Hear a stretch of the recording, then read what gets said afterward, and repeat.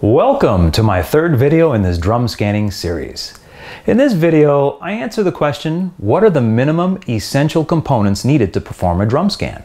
But first, please be sure to subscribe, like, hit that bell icon, and leave me a comment below. It really does help my channel grow. There are a variety of drum scanners on the used market, with the more common brands arguably being Aztek, Howtek, and Heidelberg. As expected, there are differences among the models, and I can't speak to all those variations because I don't own a copy of all of them. So this video is going to be focused on my Howtek 6500 ScanMaster.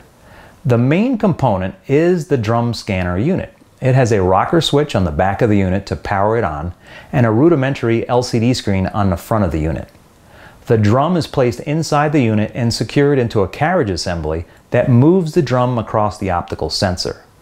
There are two tungsten halogen bulbs that provide illumination via a fiber optic cable across the film or artwork. On the back of the unit, there are two SCSI ports. In case you were wondering, SCSI stands for Small Computer System Interface.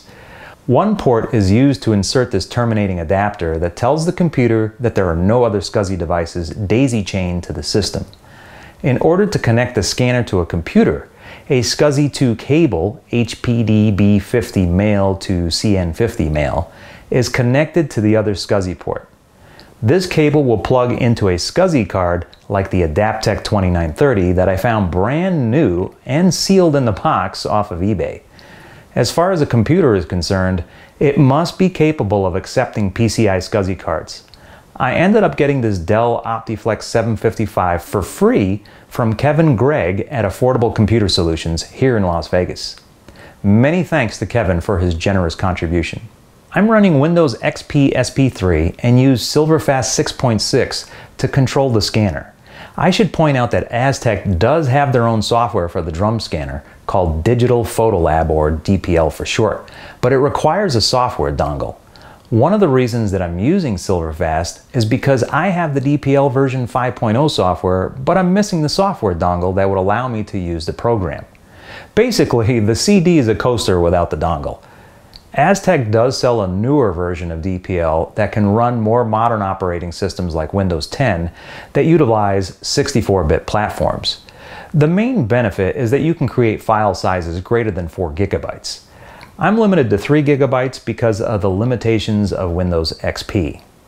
In practical terms, all that means is that I can't scan 8x10 film above 2500 ppi. The price difference between Silverfast and DPL is about $1,000. Since I didn't know if I could get this system up and running properly, it was comforting to be able to download a trial version of Silverfast for testing my setup before throwing more money at it. As a side note, I haven't found Silverfast or Windows XP to be limiting factors in the quality of my scans. I've produced several large and smaller prints from my drum scan files and have never once wondered if I could improve the files by using DPL. At the peak of drum scanning popularity, we didn't have the outstanding tools for image manipulation that software like Photoshop has today. So the tools in older software like DPL were paramount in a drum scanner operator's ability to get the very best scans possible. For me, I'm only interested in getting a solid basic scan and therefore leave the finishing touches like sharpening, color correction, rotation, etc. to Photoshop. The final essential component needed is a drum to mount your film or artwork to. Howtek made two sizes for the 6500 and 7500 ScanMaster models. There is a large 8-inch drum that accommodates pieces up to 18 by 23 inches and a 4-inch drum that accommodates artwork up to 18 by 11 inches. Other than size, the main difference is that when using the large 8-inch drum, scans are limited to 2500 ppi, while the small 4-inch drum can be used to achieve 5000 ppi and is subsequently highly sought after. Finding used drums that are in functional condition is difficult because many of them develop microcracks or what is referred to as crazing in the acrylic. If you are scanning film, crazing shows up in the file and renders your image useless. However, if you are just scanning reflective work, crazing won't matter at all. One last luxury is the drum mounting station. While it is possible to mount your artwork with the drum installed in the scanner, Having this station makes it more convenient. My scanner is located in a bottom cabinet that doesn't have a lot of room to maneuver in. So being able to work at an ergonomically appropriate height sure is a welcome privilege. Additionally, any runoff liquid or loose particulates aren't falling into your scanner, which would then require additional time to clean. Since these drum mounting stations were an option at the time of purchase, they are pretty difficult to find on the used market because not everybody opted for this accessory.